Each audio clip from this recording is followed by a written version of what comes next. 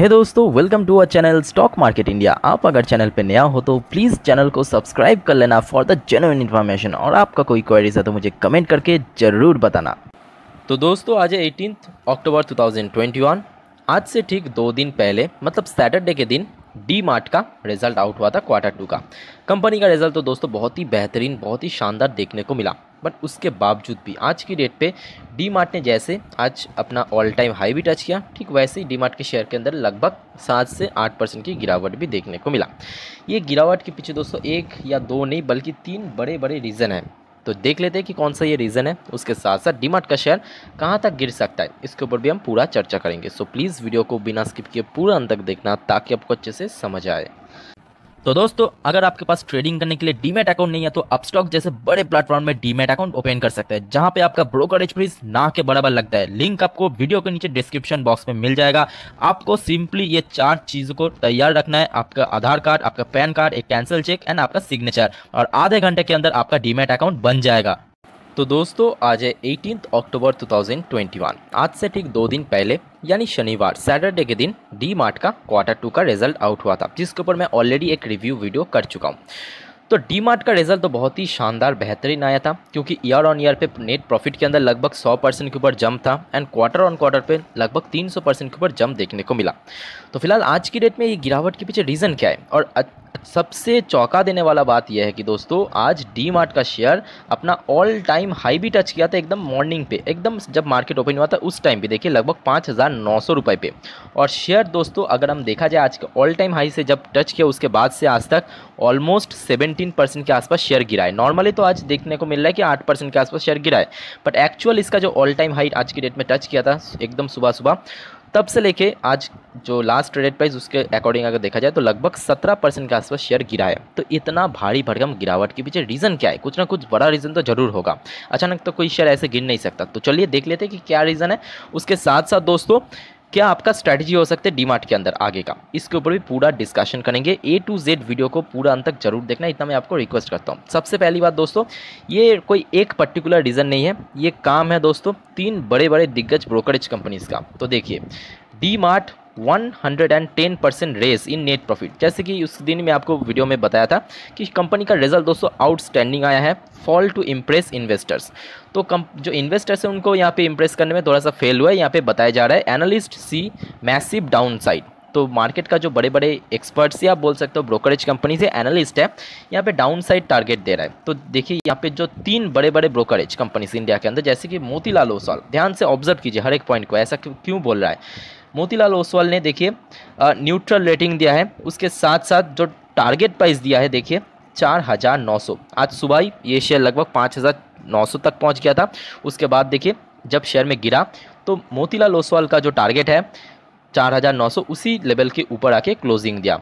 और यहाँ पे जो आप बोल सकते हो कि यहाँ पे जो इसके पीछे रीज़न लिखा हुआ है, वो बेसिकली दिया है कि बहुत ज़्यादा ओवर वैल्यूड ये स्टॉक हो गया था। नेक्स्ट अगर हम बात करें आई सी आई सिक्योरिटीज़ यहाँ पे बहुत कुछ यहाँ पे डिटेल में लिखा है आई सी आई सिक्योरिटीज़ की तरफ़ से। देखिए the brokerage firm has downgraded the stock to sell तो सेल रेटिंग दिया है आई सी आई सिक्योरिटीज़ की तरफ़ से। फ्रॉम द प्रीवियस रिड्यूस पहले इसके अंदर रिड्यूस करने का टारगेट दिया था, आज की डेट पे सेल करने का टारगेट दिया है। और जो टारगेट प्राइस दिया है दोस्तों, ये ह्यूज डाउन साइड टारगेट दिया है। मतलब आज की डेट पे शेयर चार हज़ार नौ सौ रुपये की लेवल के आसपास क्लोजिंग दिया इवन आज की डेट में ऑल टाइम हाई भी टच किया, पाँच हज़ार नौ सौ। वहाँ से अगर आप कंपेयर करोगे दोस्तों ह्यूज डाउन साइड टारगेट दिया है। और उसके साथ साथ यही नहीं, यहाँ पे फिर से, यहाँ पे बताया जा रहा है, फिर से यहाँ पे ट्वेंटी परसेंट के आसपास ये शेयर गिर सकता है। इसके पीछे जो रीज़न लिखा हुआ है दोस्तों, यहाँ पे आप देख सकते हो की upside risk fast turnaround ecommerce operation and lower than expected comprehensive intensity उसके साथ साथ ये स्टॉक भी बहुत ज़्यादा ओवर वैल्यूड जोन में चल रहा था, ये भी एक रीज़न है।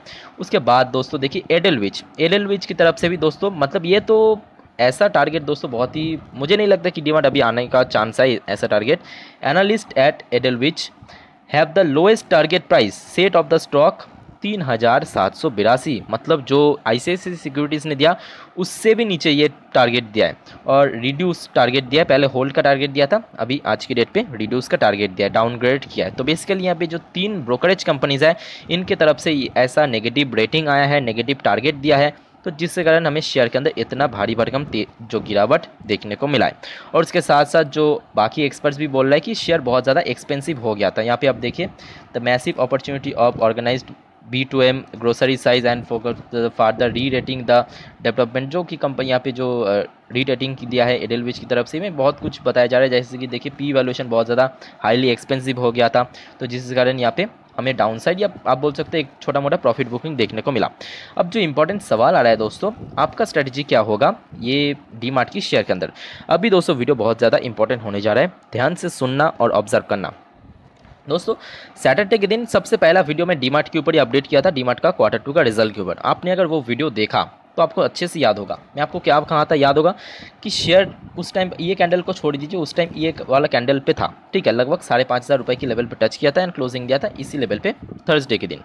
तो उसके अकॉर्डिंग दोस्तों शेयर की अगर हम बात करें, ये हाईली ओवरवर्ड जोन पर चल रहा था। देखिए ऑलमोस्ट 85 टू 90 के आसपास चला गया था इसका आरएसआई इंडेक्स क्लियर कट मैं आप वहाँ पे बोल, बताया था आपको कि कोई भी शायद दोस्तों कितने भी अच्छे हो जाए हो जाए, कितने भी अच्छा रिज़ल्ट कर दे हाईली ओवरबोर्ड जोन पे लॉन्ग टर्म में नहीं रह सकता। इसके पहले भी देखिए शेयर ऐसी ओवर बॉट जोन पे आ गया तो उसके बाद क्या हुआ?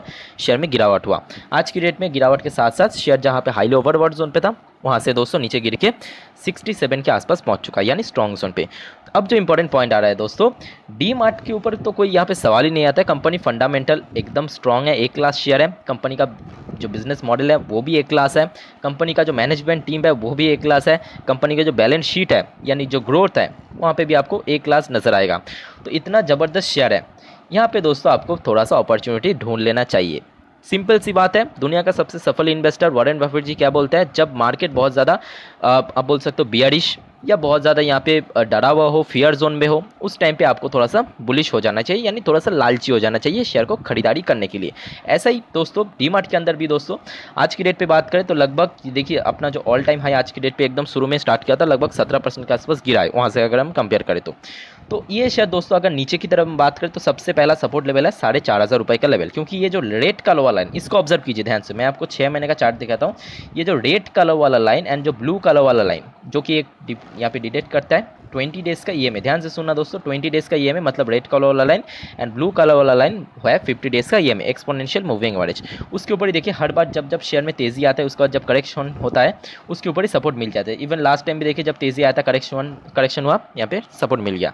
तो जिसका नंबर निकल कर लगभग साढ़े चार हज़ार रुपये का लेवल तो अगर शेयर में फर्दर गिरावट होता है तो सबसे जो इंपॉर्टेंट सपोर्ट लेवल रहेगा, वो रहेगा साढ़े चार हज़ार रुपये का लेवल तो अभी आपके सामने दो ऑप्शन है। कैसा दो ऑप्शन ध्यान से सुनना। कल अगर मार्केट जब ओपन होगा डीमार्ट का शेयर प्राइस अगर पाँच हज़ार रुपये के ऊपर ओपन हुआ तो उस केस में आप एकदम ओपन मार्केट में शेयर खरीद लेना। मतलब एकदम मार्केट प्राइस के अकॉर्डिंग पाँच हज़ार के आसपास कोई भी प्राइस मिले, फटाफट उठा लेना। ठीक है? क्योंकि पाँच हज़ार भी एक सपोर्ट लेवल है, जो कि आज के रेट में ब्रेक करके नीचे क्लोजिंग दिया। तो कल अगर पाँच हज़ार के ऊपर ये शेयर ओपन होता है तो आप पाँच हज़ार में शेयर खरीद लेना। बट अगर पाँच हज़ार के नीचे ओपन होता है मतलब आज की डेट में जो क्लोजिंग प्राइस है उसके आसपास या उससे भी नीचे ओपन होता है। तो उस केस में आप वेट करना शेयर चार हज़ार सात सौ पचास। ये लेवल दो लेवल मैं आपको बता दिया। सबसे पहला लेवल दो कंडीशन में, एक पाँच हज़ार ऊपर ओपन हुआ तो पाँच हज़ार के ऊपर आप पोजीशन बनना दूसरा, अगर नीचे ओपन हुआ पाँच हज़ार के तो उस केस में आप चार हज़ार सात सौ पचास से आप शेयर को खरीदारी करना स्टार्ट कर देना। क्योंकि जब बात आता है लॉन्ग टर्म के लिए, क्योंकि हम या मैं, यहाँ पे हमेशा लॉन्ग टर्म की बात बोलता हूँ शॉर्ट टर्म इन्वेस्टर की मतलब यहाँ पे बात नहीं बोलता हूँ। तो अगर आपका टारगेट लॉन्ग टर्म का है तो उस केस में आप जितना हो सके डिप्स में उठाते जाइए। बस ये शेयर को पकड़ के रखिए पेशेंस रखिए। देखना यही शेयर आपको एक दिन में कहाँ से कहाँ लेकर जाएगा। क्योंकि कंपनी का पोटेंशियल बहुत ज़्यादा है कंपनी का फंडामेंटल बहुत स्ट्रॉग है। ऐसे ही कंपनी दोस्तों डिस्काउंटेड प्राइस में मिल गया तो फटाफट उठा लेना चाहिए बिना किसी वेट के आज की डेट पर दोस्तों, कारोबार बहुत बेहतरीन देखने को मिला, क्योंकि लोगों को पता है क्वालिटी शेयर है क्वालिटी शेयर जितना गिरे, उतना ही डिलीवरी उठाओ, दबा के माल उठाओ। तो देखिए, जहाँ पे सैंतालीस लाख के आसपास शेयर ट्रेडिंग हुआ है, जिसके अंदर हमें डिलीवरी देखने को मिला है थर्टी के आसपास शेयर तो लॉन्ग टर्म के लिए अच्छा कंपनी है, इतना ही मैं बोलूँगा। वीडियो के पे वाइंड अप करता हूँ। वीडियो अच्छा लगे तो प्लीज़ चैनल को सब्सक्राइब ज़रूर करना। वीडियो को लाइक करके ज़रूर एनकरेज करना। मिलता है नेक्स्ट वीडियो पर तब तक के लिए टेक केयर बाय जय हिंद।